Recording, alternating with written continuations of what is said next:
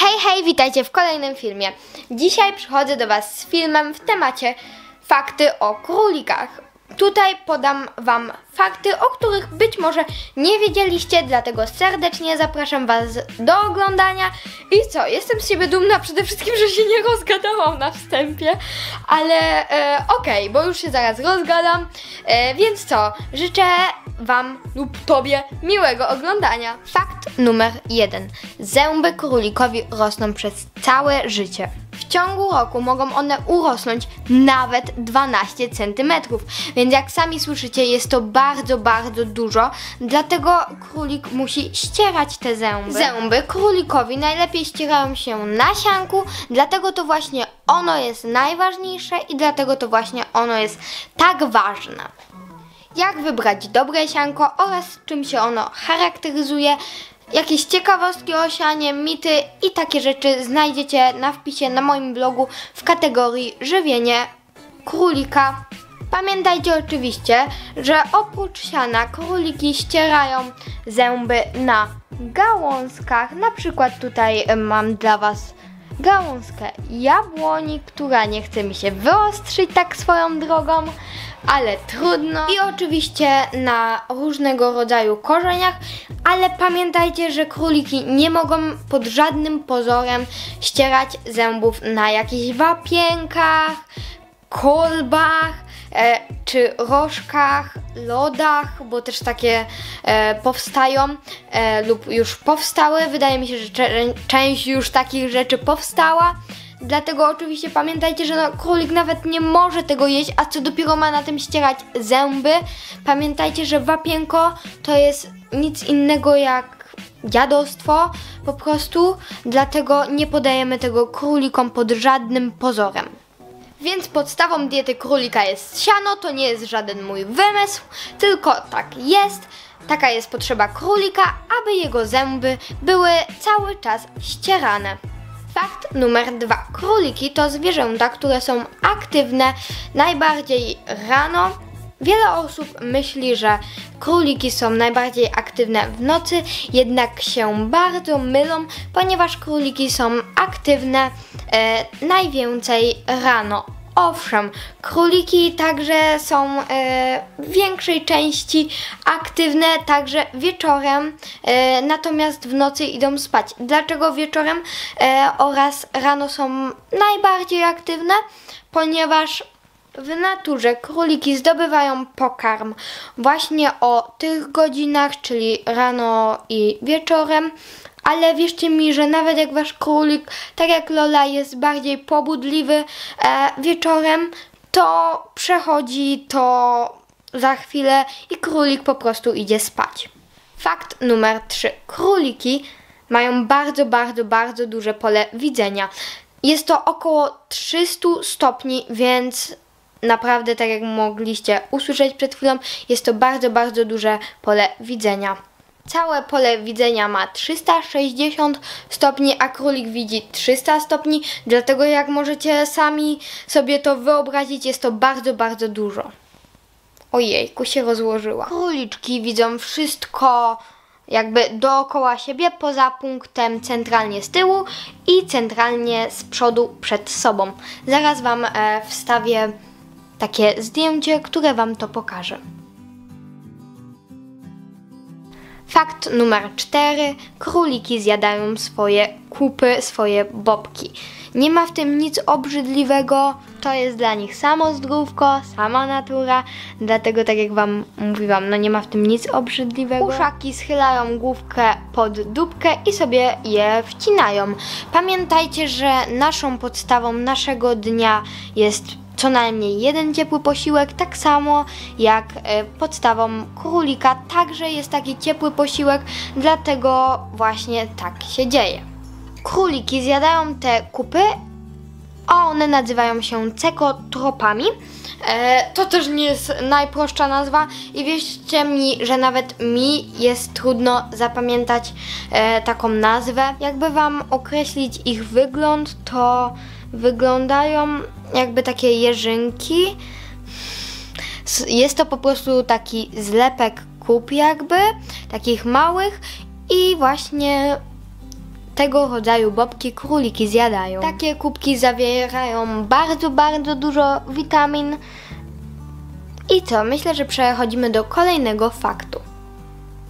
Kolejnym faktem jest to, na jaką wysokość króliki mogą skakać. Mi udało się znaleźć w internecie, że jest to około nawet 120-130 nawet centymetrów. Wy wyobrażacie sobie ile to jest? To jest bardzo, bardzo dużo. O i właśnie em, mówiliśmy przed chwilą o tym procesie, który właśnie Lola robiła. Teraz jak widzicie się drapie. Nie wiem czy wiecie, ale powinniście to wiedzieć, e, że ludzie skaczą na koniach i ludzie na koniach skaczą. Niektórzy nie skaczą tyle po prostu, skaczą tak około 85, no zależy kto, ale wyobrażacie sobie to? Na koniu tyle ludzie nie skaczą, co taki królik potrafi skoczyć.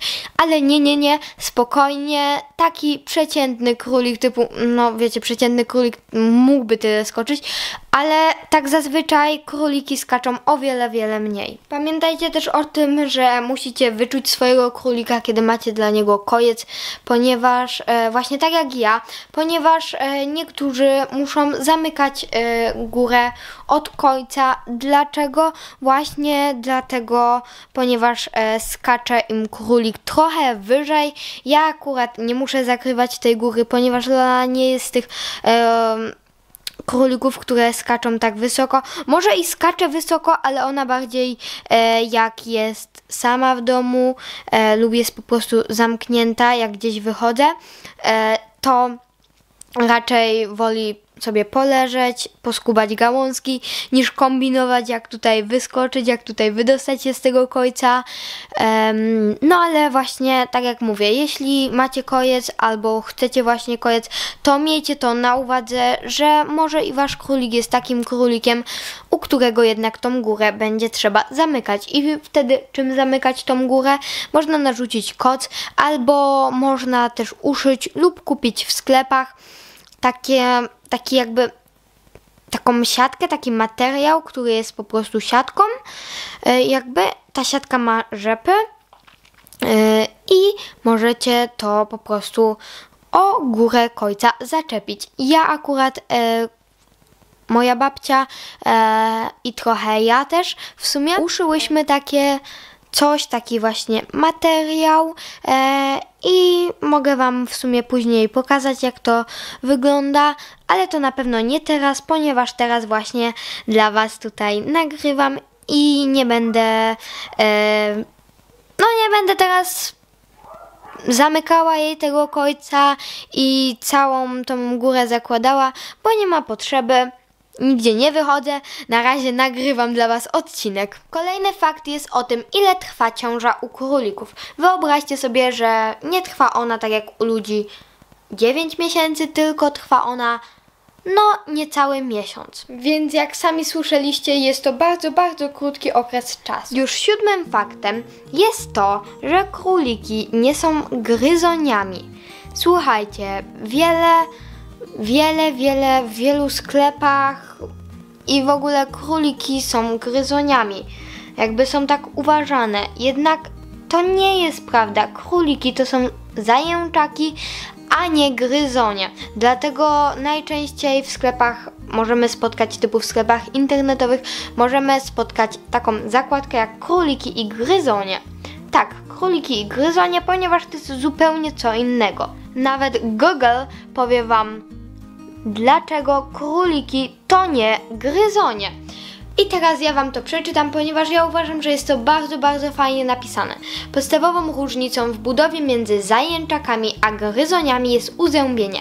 Gryzonie mają jedną parę górnych siekaczy, a zajęczaki, w tym króliki, mają w szczęce dwie pary siekaczy oraz mają charakterystyczne długie uszy uczestniczące w procesie termoregulacji.